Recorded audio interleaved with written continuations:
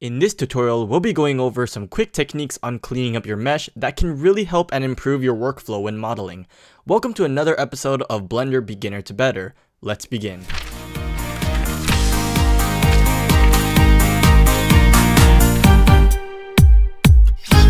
To clean up our mesh, we'll be using the action of dissolving edges and vertices. Doesn't sound too friendly, however it's actually very simple to use and understand what it does.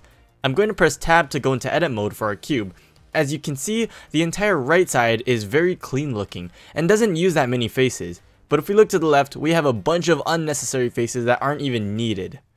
First off, if you happen to have a simple mesh like I do here, where it's literally a beveled cube, the quick solution to this is by pressing A on your keyboard in edit mode to select everything, then pressing X on your keyboard and scrolling down to where it says limited dissolve. Basically, limited dissolve merges all the vertices and edges separating flat regions, parts that don't have any value of change in the geometry. We can adjust how much detail is reduced with the max angle value right over here. This changes the dissolved vertices and edges depending on the degree and angle chosen. If you're aware on how the auto smooth angle value works, it's essentially the same concept. However, limited dissolve should only be used situationally. For example, if you happen to have a very complicated sculpted out model that has been or has not been retopologized, using the limited dissolve can sometimes negatively affect the geometry of your mesh. The limited dissolve really only works best on models with a lot of flat regions.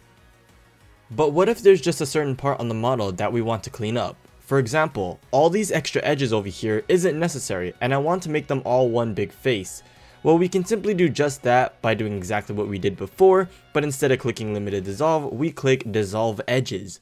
This removes the edges sharing the faces in between, thus joining the faces. The same technique can be applied with vertices, if we just select the vertices that we want to remove, and then click dissolve vertices. Dissolving a vertex will basically merge the surrounding edges and or faces. And of course, you can also dissolve faces. Dissolving multiple faces will merge them into one single face if they're sharing the same edges at least. So that's about it on dissolving vertices and edges, a quick and simple way on cleaning up flat or planar regions on your mesh. If you found this tutorial helpful in any way, please be sure to leave a like to show your support on this video and leave a comment. If you're new here, my name is Joshua via TooEazyCG and I post beginner to intermediate only tutorials on modeling, finding new ways to use materials and other things CG. Thanks for watching and bye.